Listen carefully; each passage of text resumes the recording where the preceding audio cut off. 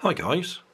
When I bought this in the charity shop, I said the reason I bought it was so we could take it apart and see how it works. So that's what we're going to do now. Just a quick demonstration again. It's an infrared sensor in there.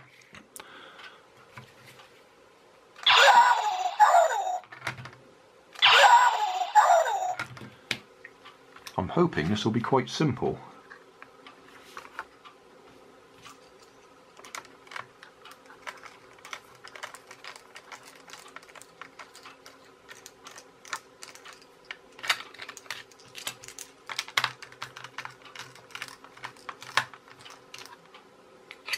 Electric motor. I'm a bit disappointed, I was rather hoping it would be a big solenoid coil. There's a spring there so I think we drive the motor one way, that way, and then the spring brings it back again.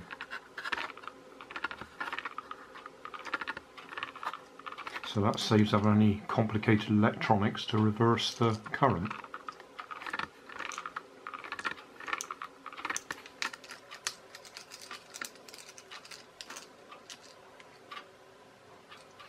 Well that's simple enough. Electric motor, gear, and we can see that spring a bit easier now. That's the return spring. And interestingly enough, we've got five wires going up inside.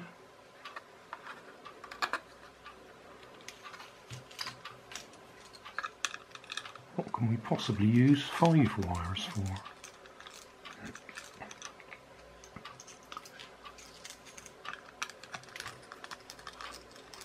Obviously it's more than just a simple LDR. Right, so we've got say more than LDR. That's a I can't remember what they're called. But it's got three legs on it and then we've got an LED there to light up to indicate the strikes. So the LED comes on and the motor moves.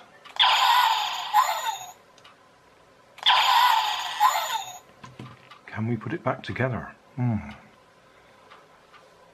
Back together. So now we'll take the gun apart and have a look inside.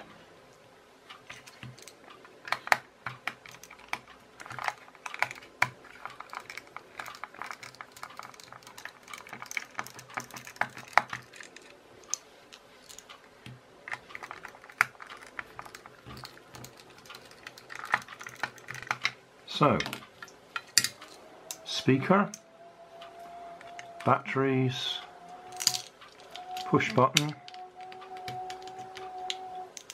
circuit board and the LED. And that's it. My wife's doing some cookery in the other room. That's what the noises are you can hear in the background if you can hear them. Put that in there? Yes, I think we can.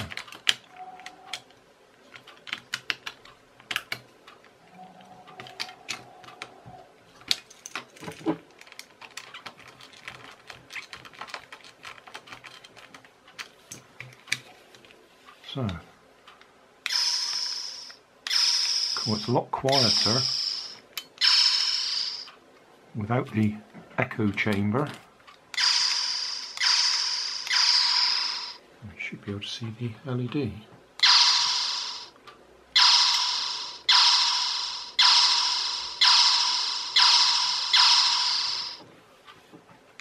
So nothing terribly exciting in there.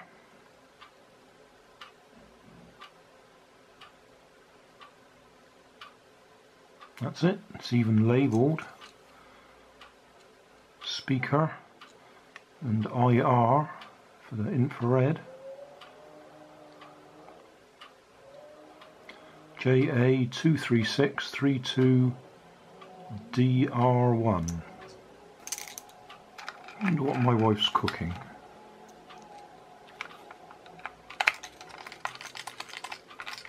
should have videoed it for one of Grandad's cookery episodes. I have to call it Nanny's cookery episode.